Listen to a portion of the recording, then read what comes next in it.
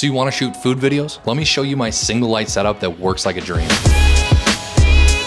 First, you're gonna need a good continuous LED light source. Second, get yourself a softbox. The bigger, the better for nice and soft, buttery diffused light. Next, set your scene. You're gonna need a surface and a backdrop. If you're shooting overhead, you'll just need a surface. Now, where to position your light. For top-down food videos, I like my light coming in from the top of my scene, anywhere from the 10 o'clock to 2 o'clock position. It looks and feels most natural. And since I'm gonna be working from the bottom of the frame, I don't want my body blocking any of the light. For your straight on or 45 degree shots, position your light to the side of your your food. Either side will work fine, and then slightly to the front. I rarely use bounce boards for this setup. I love how the shadows wrap around the food and create that really nice gradient. Now that I've shown you my setup, it's time for you to get shooting.